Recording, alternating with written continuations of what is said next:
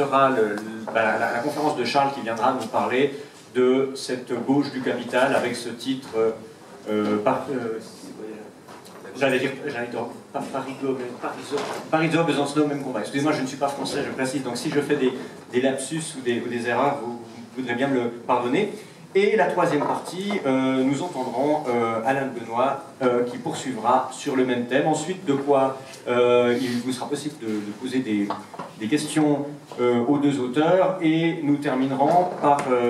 une séance de dédicace de Charles Robin et d'Alain Benoît. Il est possible de vous procurer leurs livres respectifs ainsi qu'une série de, revues dont les numéros d'éléments actuels et plus anciens. Alors, pour présenter Charles Robin, brièvement, euh, j'éviterai la blague classique de dire que c'est l'homme qui est assis euh, à ma gauche, donc à votre droite, parce que ça c'est ce qu'on fait dans tous les, débats qui sont un peu politiques. Et, euh, et comme je l'ai dit sous la forme négative, je ne l'ai pas fait et je n'ai pas à le présenter puisque c'est un enfant du pays, donc vous le connaissez sans doute. Il, est, donc enseignant à l'université de Montpellier. Il présente aujourd'hui son livre publié chez Crisis, La gauche du capital, et euh, il m'a fait donc euh, l'honneur de me demander de, rédiger la préface, ce que j'ai fait avec euh, grand plaisir, l'ayant découvert quelques, années auparavant, notamment à travers une conférence en ligne qu'il avait donnée à une plateforme internet qui s'appelait à l'époque le Libre TeamSpeak et qui m'avait convaincu à la fois de, ses talents oratoires et de, la, et de la justesse de sa réflexion, Ensuite, de quoi finalement nous nous sommes rencontrés immanquablement en fréquentant les mêmes, les mêmes tribunes infréquentables telles que les revues Rébellion ou Éléments. Euh, il y a eu son premier livre, le libéralisme comme volonté, comme représentation, suivi de deux autres euh, en auto-édition, auto avant d'avoir celui-ci qui est une qui, est à la fois le, le, leur synthèse, euh, le, leur anthologie et également plus que ça. Cette, sa, pensée m'a tout de suite intéressé d'une part, part parce que je, la, partageais, mais parce qu'elle était extrêmement bien exprimée. Euh, on, est dans le, le domaine de, l'histoire et de la science des idées, de, la sociologie politique, de l'histoire tout court également, mais euh, avec une, approche théorique euh, très, très pédagogique, très abordable dans la mesure où elle se réfère fréquemment à des exemples, à des illustrations qui souvent sont issues de l'expérience de l'auteur et notamment euh, son expérience de fréquentation de certains milieux politiques dont il décrypte euh, le programme, le discours et, la, et la rhétorique. Euh, ça m'intéressait d'autant plus qu'on nous avons effectivement, outre euh, les, médias pour lesquels nous avons, avec lesquels nous avons collaboré, un certain nombre de similitudes nous sommes à peu près de la même génération et nous avons un parcours assez semblable étant donné que lui comme moi euh, sommes issus des milieux trotskistes. Euh, lui en France euh, à travers le, les feux, la LCR et, le NBA, moi à travers un, parti suisse qui était son équivalent et qui était, euh, était d'ailleurs euh, jumelé avec. Les raisons de notre engagement d'alors, pour s'il ne fallait donner qu'une, je pense qu'on pourrait dire qu'il s'agit tout bêtement de l'intérêt pour ce qu'on appelle de manière très large le socialisme. Et cet intérêt, euh, pour lui comme pour moi je pense, n'a pas vraiment changé étant donné qu'il y a consacré ce livre et que c'est quelque chose, un idéal qui nous tient à cœur, qui a effectivement une définition très large et peut-être de plus en plus large dans le, dans le, bon sens du terme, dans la, dans la mesure où euh, on, nous arrivons dans un nouveau siècle où nous nous débarrassons, un petit peu des, des boulets et des pesanteurs doctrinaires qui y étaient associés euh, et si, nous avons quitté ces milieux-là, les milieux dits qu'on appelle de gauche, pour faire court, et notamment du trotskisme, la raison, la, première, c'était peut-être que nous n'y trouvions pas ce socialisme que nous y cherchions et nous n'y voyions pas le moyen d'y accéder dialectiquement, euh, politiquement. Politiquement, dans, le sens de la théorie, dans la mesure où on préfère le dire tout de suite, nous, ne donnons pas ce soir une conférence militante ou politicienne. Euh, lorsque Charles Robin dit que le socialisme n'est pas de gauche, il ne veut certainement pas dire qu'il est de droite. Ce n'est pas du tout, notre propos, ni faire, euh, la réclame pour un parti ou un autre. Euh, s'il existait un, grand parti socialiste au sens où, nous l'imaginons, eh bien, nous ne serions peut-être pas là ce soir. Euh, donc voilà, cette question du, trotskisme qui, nous a amené assez vite dans nos jeunes années à voir qu'il était perclus d'un certain nombre de contradictions insolubles, dont la première est peut-être celle de, l'immigrationnisme comme forme du libéralisme, ce qui, dans le cadre d'un combat prétendument anticapitaliste, donc antilibéral, poser un problème de cohérence. Le capitalisme étant, comme on le sait, la face économique du libéralisme qui en a plusieurs. Et là, sans parler du combat culturel ou sociétal, l'immigrationnisme au sens purement économique, comme le disait Marx, c'est ce qui permet au capital d'avoir une armée de réserve. Ça, c'était assez euh, lucide de sa part, mais c'est encore plus facile de le comprendre aujourd'hui qu'à son époque. Les mécanismes de la mondialisation euh, nous ayons comment dire, nous ayons montré, euh, nous avons fait la meilleure expérience de, de, cette situation, notamment en Europe, que ce soit dans le cadre de l'Union européenne et également avec les accords bilatéraux euh, et les accords de libre circulation qui relient l'Union européenne à, d'autres pays, comme le mien, mon pays n'étant pas européen, et j'en suis tout à fait fier. Donc voilà, ce, ce, problème de l'immigration est, tout, à fait, tout à fait central dans les, dans les contradictions. Le titre, Parisot, Besancenot, même combat, nous montre effectivement que avec deux langages, deux vocabulaires, de lexiques différents, nous avons un, un discours qui est à, peu près le même. Alors évidemment, je pense que le, discours de, Laurence Parisot, du MEDEF ou, de, grands patrons comme euh, je pense par exemple à, euh, Serge Dassault n'est pas, pas agréable, n'est pas facile à entendre pour, la majorité de, l'opinion publique parce que c'est un, discours, assez honnête en fait, mais extrêmement cru. Euh, que, les politiciens, notamment les politiciens de droite libérale, ne tiennent pas parce qu'ils sont beaucoup trop malins pour ça, mais que certains grands patrons qui ne font pas de politique euh, euh, tiennent sans état d'âme. Je pense notamment à, Serge Dassault, il suffit de le faire parler pour, pour faire chuter l'UNP parce que son, cynisme est tellement absolu que, qui rend grand service à la gauche et de manière générale à tous les critiques du capitalisme. Mais cette gauche-là, finalement, ne dit pas vraiment autre chose. Le discours de, de Besancenot mais comment dire, est, la forme, euh, la, forme catéchisme euh, de la crudité euh, libérale qui permet, ce capitalisme-là. On pourrait dire que c'est une vaseline moralisante qui permet à la pilule de passer, combien même, c'est le, pourquoi prendre un exemple qu'on trouve chez, Lucrèce, le philosophe romain, c'est quand on, quand on doit prendre un, un, médicament, ou plutôt dans ce cas-là un poison, même si le, le mot grec est, le même, euh, si le poison est désagréable au goût, il faut mettre du sucre sur le rebord du, verre, comme ça, ça passe mieux. Eh bien, euh, Besancenot, le discours euh, immigrationniste trotskiste lié au combat des, sans-papiers, qu'on appelle maintenant par néologisme de sans-papiérisme, d'ailleurs Besancenot, qui est à la pointe de tous ces combats, que ce soit à la fois l'immigration et la théorie du genre, a même inventé le terme un sans-papier, une sans-papière. Donc on est, on est dans la, dans la, dans la, dans, la novlangue en fait. Euh, donc vrai, on voit vraiment que c'est un système qui marche sur ses deux pieds. Le philosophe Jean-Claude Michéa, dont nous nous inspirons beaucoup, a utilisé deux expressions qui me plaisent beaucoup. C'est celle du Janus libéral. Janus, on, voit la représentation de la statue antique à deux visages, de part et d'autre, mais ces deux visages, c'est un seul être. Ou alors l'anneau de Möbius. L'anneau de Möbius, c'est cet anneau qui, a été recourbé au moment de le fondre, ce qui fait qu'on peut suivre les deux côtés avec le doigt et, ça, il n'y en a plus qu'un. Alors évidemment, au premier coup d'œil, on ne voit pas, donc on pense qu'il y a deux côtés. On pense qu'il y a un capitalisme économique et un libéralisme moral, sociétal et culturel. Et en fait, quand on les suit, et c'est ce que nous nous obstinons à faire, on voit qu'il n'y en a qu'un. Et euh, ça, ça c'est vraiment, vraiment quelque chose, ça n'a rien de révolutionnaire de le dire, en fait, quelque part c'est une évidence, mais euh, vraisemblablement, le discours politique ayant complètement omis cette évidence-là, il nous est apparu important de, de, la rappeler. Euh, la lutte antiracisme étant actuellement euh, au cœur de, ce combat de gauche, lutte tout à fait légitime à mes yeux, mais qui passe par de mauvais moyens à partir du moment où il est difficile de lutter contre le racisme tout en ouvrant les frontières, c'est-à-dire le slogan prolétaire de tous les pays unissez-vous qui a été décontextualisé et qui en soi peut signifier tout et son contraire, que peut-il signifier dans le cadre d'un marché national limité mais ouvert à tous les vents? C'est-à-dire comment, parler d'unité du prolétariat, des travailleurs, d'une classe sociale, quand, les, membres de cette classe sont mis en violente concurrence les uns contre les autres et qu'on crée précisément, s'ils sont de peuples et de cultures différentes, du racisme qui, a priori, n'aurait pas de raison d'exister entre gens qui vivent en bonne intelligence et qui ne sont pas en concurrence pour obtenir des emplois, euh, des logements, ou simplement un, espace vital dans un pays aux ressources limitées. Euh, euh, comme quoi ce discours antiracisme et ce sans-papiérisme est vecteur de xénophobie au lieu de le combattre. Et je pense que, le discours que nous avons sur la, critique du libéralisme est un discours le, dans le vrai sens du terme.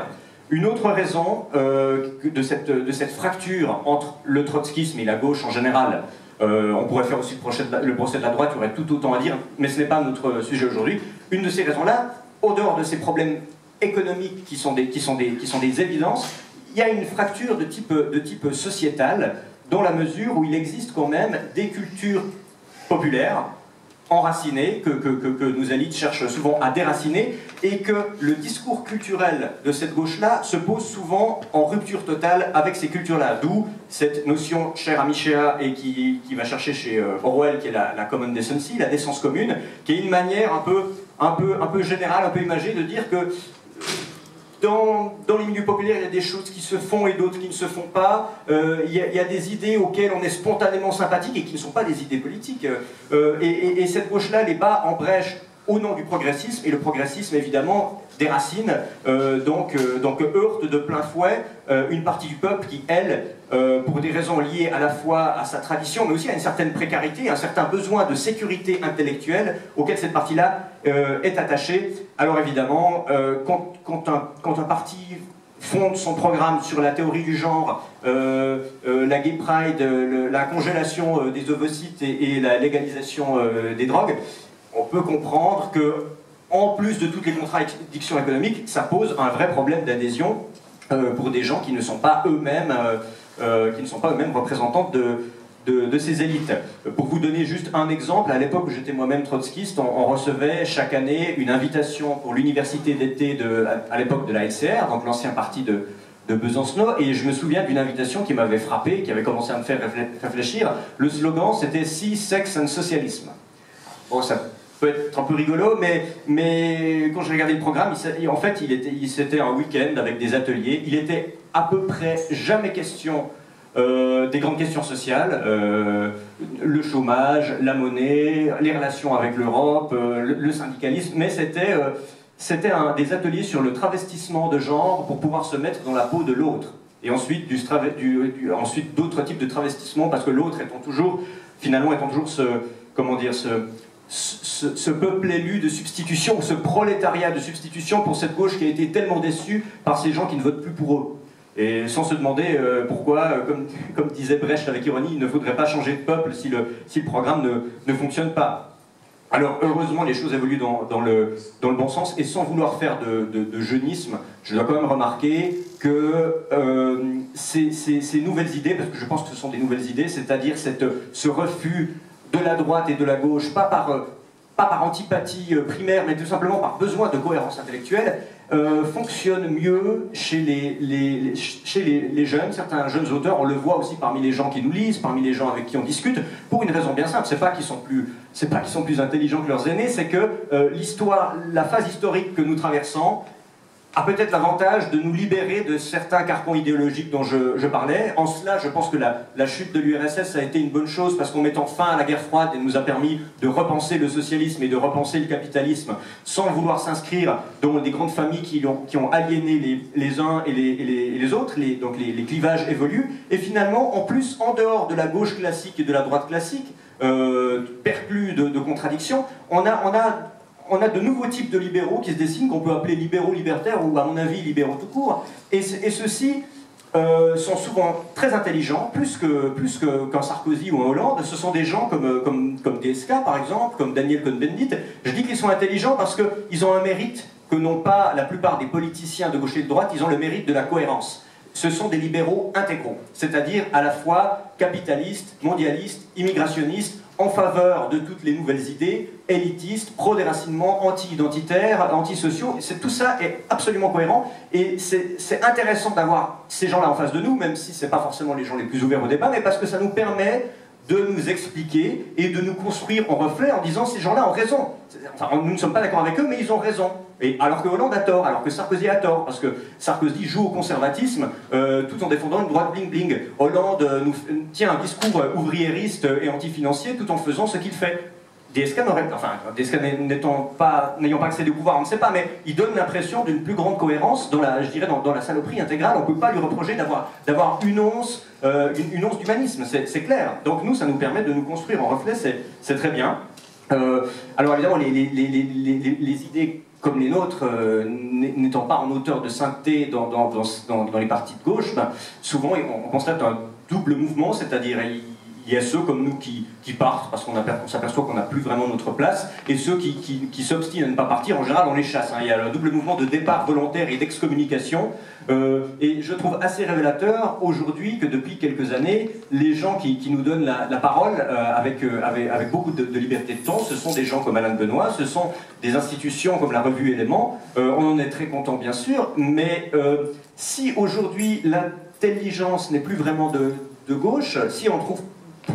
plus, contrairement à d'autres époques où qu'on aime ou qu'on n'aime pas, il y a eu des grands penseurs de gauche jusqu'au XXe siècle, jusqu'à la deuxième partie du XXe siècle, des gens qui avaient une, texture intellectuelle. Aujourd'hui, euh, quand ils se mettent à penser, ils deviennent vite dissidents, même sans le vouloir. On, les chasse ou ils partent. Donc au bout d'un moment, un, camp politique, un camp idéologique qui ne produit plus de penseurs est, condamné euh,